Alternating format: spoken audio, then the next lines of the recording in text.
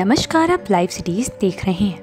बिहार का प्रमुख त्योहार छठ पर्व शुरू हो चुका है। हालाँकि, अब यह लोक आस्था का पर्व बिहार से निकलकर पूरे भारत सहित विदेशों में भी प्रसिद्ध हो चुका है। ये पर्व संस्कृति का एक अद्भुत उदाहरण है। इस दौरान पहनावे, खाने, व्यंजन समेत भक्ति की बेहतरीन झलक देखने को मिलती है।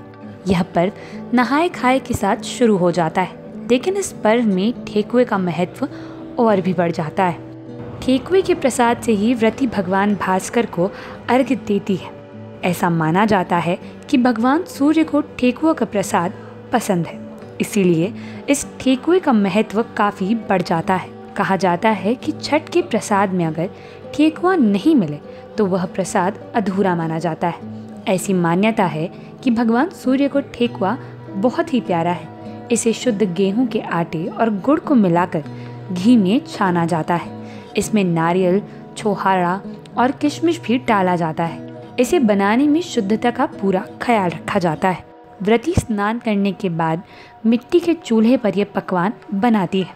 वहीं आम की लकड़ी का प्रयोग जलावन के रूप में किया जाता है। बिहार में ठेकुआ लोक गीतों के मधुर तान पर बनता है।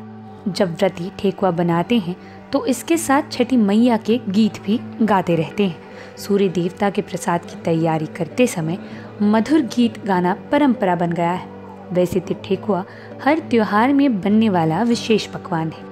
लेकिन लोग आस्था के महापर्व छठ में ठेकुए का एक अलग महत्व है, क्योंकि इसे ही छठ का महत्वपूर्ण प्रसाद माना जाता है। हालाँकि ठेकुआ कब से बनना शुरू हुआ और इसका इतिहास क्या है, ये कोई नहीं जानता।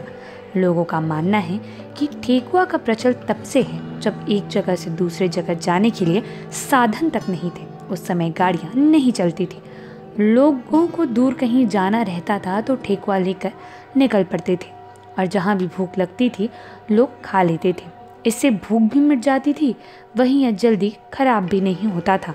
ये कई दिन तक वैसा ही रह जाता है, जैसा बनने के दौरान ये होता है। आज नौकरी की तलाश में या फिर परीक्षा देने वाले छात्र कहीं दूर जाते हैं तो घर से ठेकुआ लेकर ही निकलते हैं। वहीं वैज्ञानिक लिहाज से भी ठेकुए को सेहत के लिए फ़ायदेमंद माना गया है। आटा, गुड़ और घी तीनों ही सेहत के लिए अच्छे होते हैं और बदलते मौसम में ये तीनों चीज़ें इम्यूनिटी को बढ़ाती है। इसीलिए सर्दी जुकाम और ठंड से शरीर की रक्षा करता है। बहरहाल छठ में सूर्य भगवान और उनकी बहन की पूजा की जाती है। धार्मिक ग्रंथों में ब्रह्मा जी की मानस पुत्री छठी मैया को कहा गया है। शास्त्रों में भी छठ मैया को माता कात्यायनी का स्वरूप माना गया है।